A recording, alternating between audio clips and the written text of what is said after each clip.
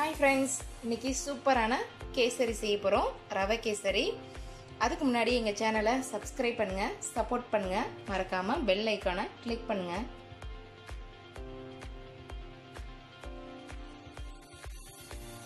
Hi friends today recipe ரவை கேசரி ரவை கேசரி நம்ம வீட்டிலையே சூப்பராக செய்யலாம். ஹோட்டலில் எப்படி செய்கிறாங்களோ அதே மாதிரி வீட்லேயும் சூப்பராக செய்யலாம்.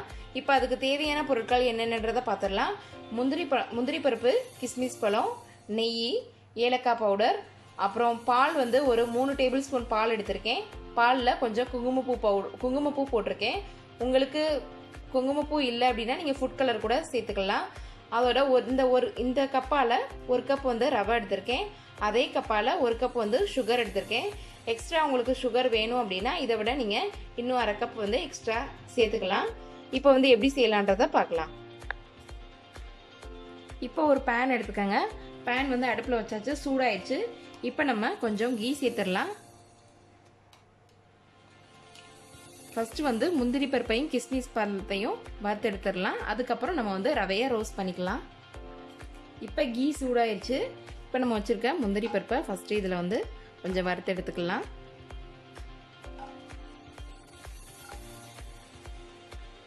இப்போ முந்திரி பருப்பு கொஞ்சம் ரோஸ்ட் ஆயிடுச்சு இப்போ நம்ம வச்சுருக்க கிஸ்மிஸ் பழம் இதை சேர்த்துடலாம்.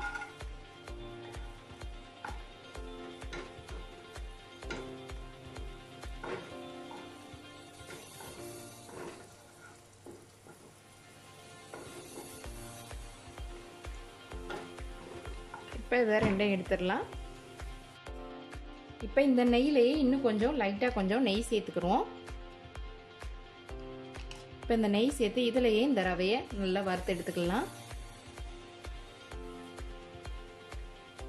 ஸோ மீடியம் லோ ஃப்ளேமில் வச்சுக்கோங்க. ஸோ கரிஞ்சிடாமல் இது ஒரு அஞ்சுலேருந்து ஒரு ஏழு நிமிஷம் வரையும் நீங்கள் இந்த ரவையை இந்த நெய்லையே நீங்கள் நல்லா வறுத்து எடுத்துருங்க. வறுத்து எடுக்கும்போது நல்லா வாசனையாக இருக்கும்.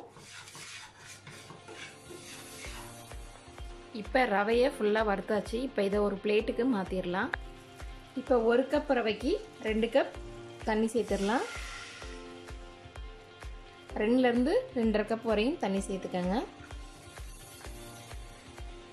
நான் வந்து ரெண்டரை கப் தண்ணி சேர்த்துருக்கேன். இப்போ தண்ணி நல்லா சூடாகட்டும்.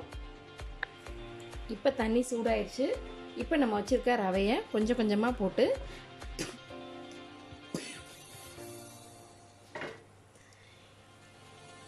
இப்போ கட்டி உழுகாமல் கொஞ்சம் கொஞ்சமாக கலந்து விட்டுக்காங்க.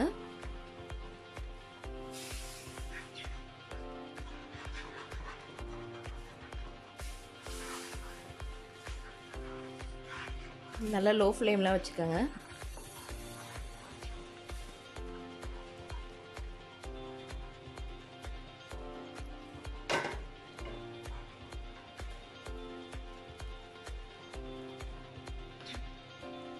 இப்போ நல்லா இந்த ஸ்டேஜுக்கு வந்தோடனே நம்ம வச்சுருக்க சுகரை இதோட சேர்த்துடலாம்.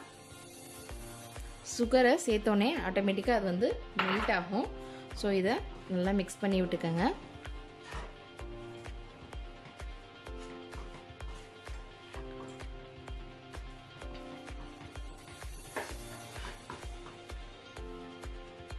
இப்போ நம்ம சுகரை சேர்த்தோன்னே இந்த மாதிரி மெல்ட் ஆகும். ஸோ இதை நல்லா மிக்ஸ் பண்ணி விட்டுக்கோங்க. இப்போ நீங்கள் நெய் கொஞ்சம் சேர்த்துக்கோங்க. நெய் வந்து ஒரு முக்கால் ஸ்பூன் சேர்த்துக்கோங்க. சேர்த்து அதோட கிண்டி விட்டுக்கோங்க.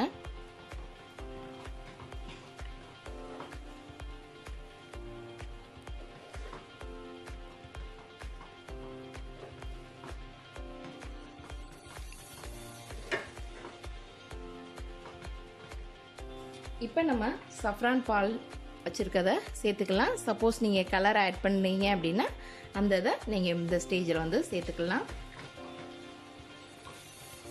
ஸோ இது எல்லாத்தையும் நல்லா மிக்ஸ் பண்ணி விட்டுக்கோங்க. இப்போ ஏலக்காய் பவுடர் கொஞ்சம் சேர்த்துடலாம். இப்போ இதையும் நல்லா எல்லா பக்கமும் மிக்ஸ் பண்ணி விட்டுக்கோங்க. இப்போ ஃபைனலாக ஒரு முக்கால் ஸ்பூன் நெய் சேர்த்துக்கலாம்.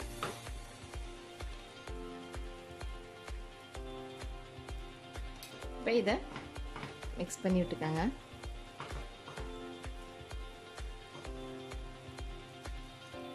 இப்போ நம்ம ஃபைனலாக வச்சுருக்க வறுத்து வச்சுருக்க முந்திரி கிஸ்மிஸ் இதோட சேர்த்துடலாம். சேர்த்துட்டு இதை நல்லா மிக்ஸ் பண்ணிவிட்டு அடுப்பை ஆஃப் பண்ணிடலாம்.